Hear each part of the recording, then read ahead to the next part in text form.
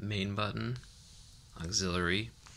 This is an Arduino Nano. This is an MPU accelerometer and a DF player, SD card MP3 player. And then you have an LED strip.